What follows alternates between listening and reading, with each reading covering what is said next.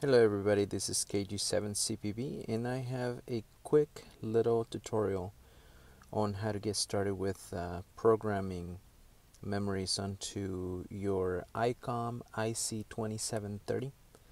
Um, it was really hard for me to figure it out. Uh, there was no video so I figured I'd make one to show everybody how to get this uh, how to get this done. Uh, first of all, you want to find a frequency that you want to program. Uh, obviously, you probably want to enter your local repeater. Um, once you have that frequency, you can either navigate to it from your tuning dial this way or what I like to do is directly put it in from the mic with the uh, with the number keys on it. So go ahead and do that. So now you want to enter the um, the tone for it. And the first thing you need to do is you want to go to the menu. Um, assuming you know what the tone it is. First of all you want to turn it on and you want to see this is the enter. So hit that turn it on um, and then get out of there.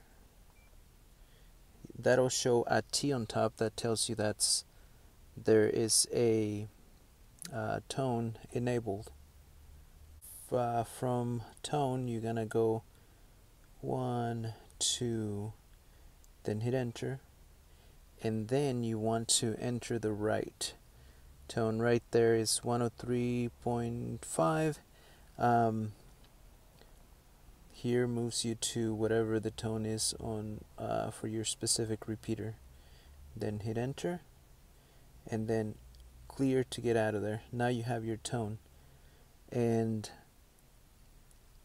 once you have done that what you want to do is you want to hit this key which is the MW I'm not sure what that stands for. Um, but anyway you hit it and then it's going to give you the option to select the channel or the name or skip bank. So right now what you want to do is select the channel hit enter. Um, if you know what channel you want to have it this is giving me the next open selection but you can also use any of the ones that you want to use.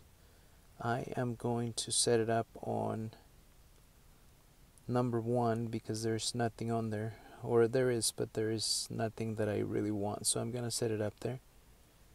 Hit enter. Um, you can also name it from here. You this is how you enter your letters. And actually this is the mistake I had to figure it out. So let's let's go back hit enter. A. And then the next one you want to go the next letter over